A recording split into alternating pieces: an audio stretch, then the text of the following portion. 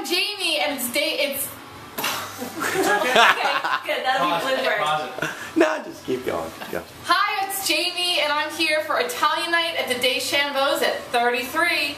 Um, tonight I am making my grandmother's marinara, homemade marinara, and um, meatballs. We're, we're just going to fry the meatballs and serve them brown. We're not actually going to put them in the sauce. It's kind of just my mother's spin on it. She just always liked fried meatballs, just plain. So that's what we're going to do, and I made already a beautiful Italian salad, green salad, that will serve as well, and I'll show you that when we're done. So, to get started, I am going to start the pot for the marinara, and I'm also going to start the pot, the pan for the meatballs. Um, I'm going to get everything nice and hot, and then we're going to go. So, here we are. Um, I've prepped everything here, so we have ingredients not only for the sauce, but also for the meatballs. Um, for the sauce, which is what I'm going to start first, I put the wrong burner on, fix that. Um, for the sauce, we have garlic cloves, um, fresh parsley, um, fresh basil, and fresh Italian oregano. And the parsley is the flat leaf Italian parsley. Okay?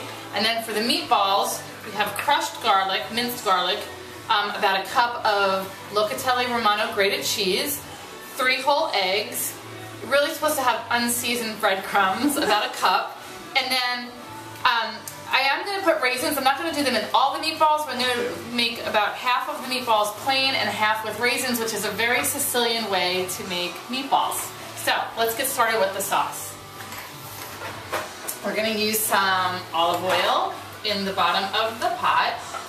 About, I would say, three or four tablespoons. And to that, I'm going to add about, I've made um, about six pounds or almost seven pounds of tomatoes.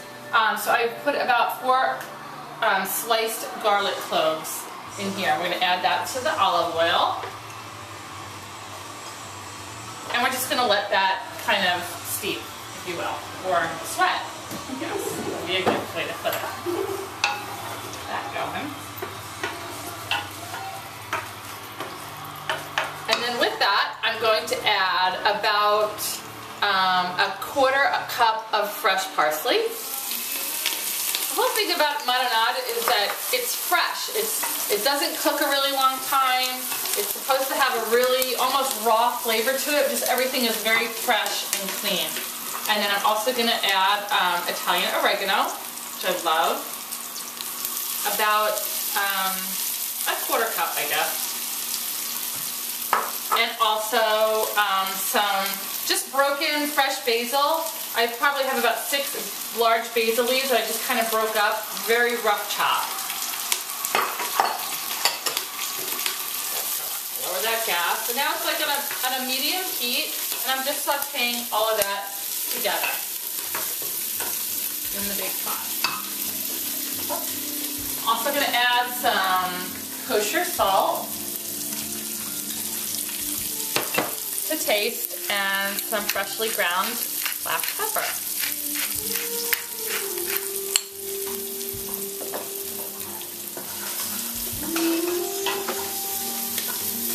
And I know you can't smell it, but it smells really good and fresh and garlicky. Okay, so in the meantime, while that's sauteing, I've already prepared some of the tomatoes, and you can use fresh um, plum tomatoes if you like. I personally think it, it's better, it's a little bit more of a bolder, richer flavor if you use um, some Italian peel tomatoes. These are imported, but you could use some of the domestic brands as well. And the way you prepare them, even though I don't like them crushed, I don't like to buy crushed because it's almost too thick, so I crush them myself. So you just have your blender, and I already crushed them, that's why my blender is dirty. But um, you just pour the can of the plum tomatoes into the blender. But you don't want to you don't want to get it really watery. You really just want to crush them, you know, almost so you haven't already. I know And um, my sous chef, my husband Ronnie, is actually going to help me. You just do it for a second, like just a second. I learned this 15 years ago. Did you hear that? it switched, like it went an octave Gotta higher. pay attention. Okay, so now what we're gonna do, Thank you, Ronnie. Right. Is we're gonna add this now to the herbs, okay?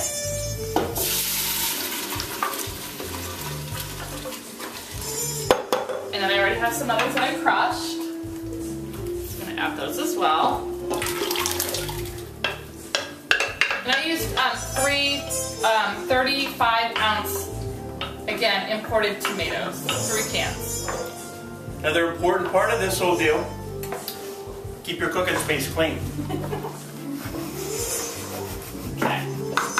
So now the tomatoes are going. And these are not gonna cook for a really long time. We're not making a big Italian gravy, if you will. We're making marinara and it's it's not gonna cook for a long time. We're, we almost want that raw flavor to it, that really fresh, clean, raw flavor to it. So now those are going. Okay, so in the meantime, we're gonna start our meatballs. So I've got my saute pan pretty hot at this point. I'm gonna take it off a little bit. I'm gonna add my olive oil to get this going. So I've also added four large cloves of garlic. I haven't crushed them or anything. What that's gonna do is help um, flavor the meatballs as they're cooking. So I just took it off the burner because it's really super hot. In the meantime, I have about three pounds of ground beef and pork mixed together. And to that, I'm going to add a cup of uh, unseasoned breadcrumbs, um, a cup of Locatelli Romano grated cheese, that might have been a little more than a cup. The more cheese, the better the flavor. Um, this is about three cloves of minced garlic.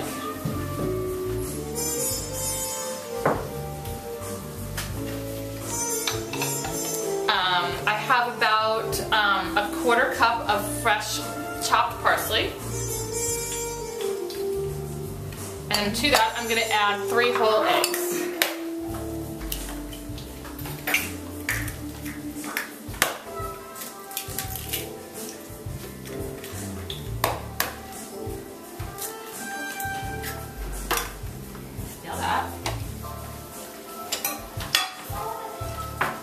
Saw the guy at Benihana do this last night. Okay. I also have here, um, I wish, it's just water. It's like lukewarm water. And you add this so that you don't want um, hard meatballs. And so the way to keep them from beginning getting hard is to make sure that they're moist. And so this is just plain water. So I'm going to add that. I add about a half of a mugful. And then if I need more, I can always add more. And then I also am to do some freshly ground cracked pepper.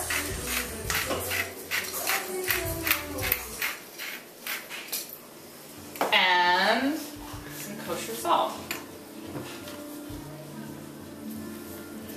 Remember, you have the cheese in there, so it's not like you have to overdo it with the salt.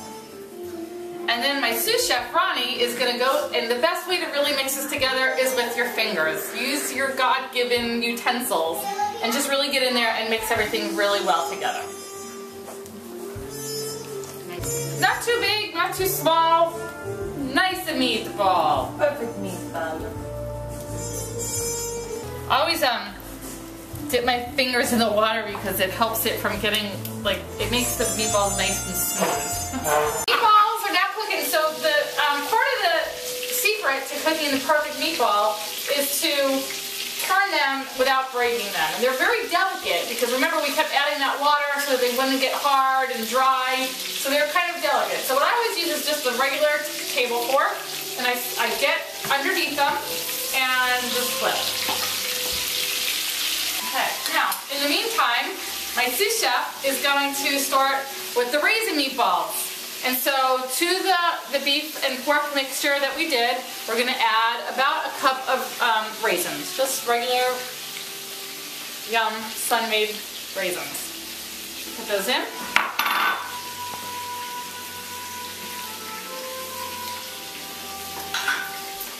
And he's just mixing them. I think how this came about don't want to say a lot, some Italians add sugar to their meat gravy. I do not. I do not add sugar to mine. But I think um, some of the old Italian folks in Sicily may have decided to add raisins to help sweeten the tomatoes. Um, Smell good. Mm -hmm. yeah. You can smell them like down the street usually. So your mom used to make these when you were little? Yeah, on Sunday morning, this is our meal. Ritual on Sunday? There's nothing like this on Sunday. We have some very inspirational music in the back. Yes, we do. It's good, isn't it? So I've actually, and if you see, I'm taking the sauce off because it has been about 30 minutes now, and it's done. It's just, it's, remember, it's a marinara. It's not a gravy. It's just like very light, and we're gonna put it over some very al dente pasta, and um, it's done. It just cooked for 30 minutes, and so now it's perfect. It's finito. I shut the heat off. Ronnie, Are they? Fired. Hey, bro, you're hired. Good night, bro. so we toasted our bread, and I uh, have a piece of fresh garlic here, and all I'm gonna do is rub the fresh garlic Jamie a on the bread. Hey, almost. Yeah, if it wasn't for Ro, we wouldn't have any of these recipes. No, we wouldn't. Yeah. And it's just gonna like release the oils from the garlic and like give a hint of garlic flavor.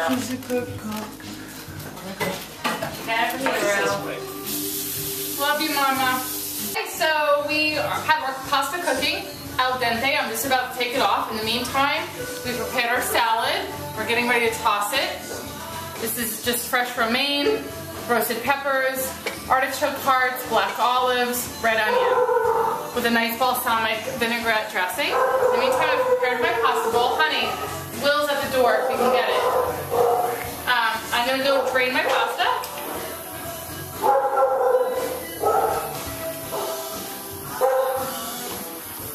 You want to drain it really, really well because you don't want to water down that delicious marinara that we just made. We're going to drain it really well. In the meantime, I've toasted my bread, I've taken it out of the oven, and I rubbed it just with a really nice, um, fresh, uncooked garlic clove. Just rub it along the crusty bread. And it just gives a nice little garlic flavor, but not too heavy.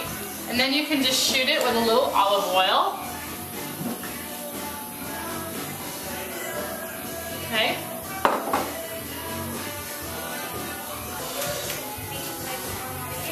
Okay. And now we're gonna grab our pasta.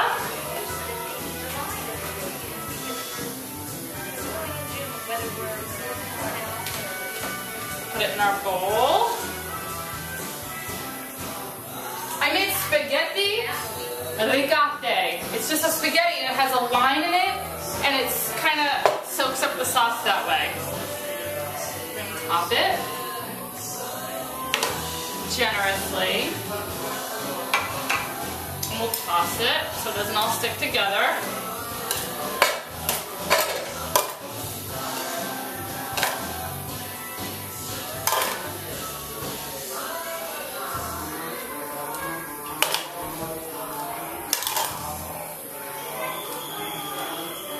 This is a lot of pasta, I know, but we're a lot of people and I want everybody to enjoy it. Top it with little homemade marinara. Garnish it with a little fresh basil that you just break up.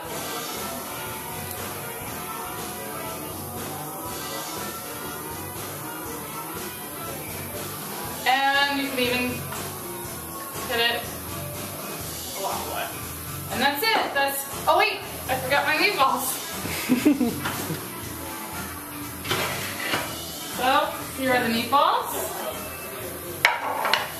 And the raisin ones. So on the menu tonight is Grandma's homemade marinara and Rose's famous plain and raisin meatballs with a fresh green, nice cold chilled salad. Bon appetit! Bye-bye. Queen. Did you say if you don't like my sauce,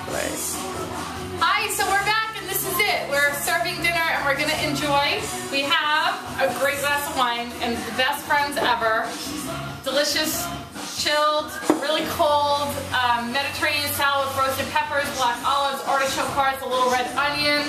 We have spaghetti rigate with grandma's homemade marinara. And we have Rose famous meatballs just fried. I didn't put them in the sauce, plain and with raisins. My guests enjoy this dinner. I had a ton doing it, and I hope that you guys enjoy it too. Thank you.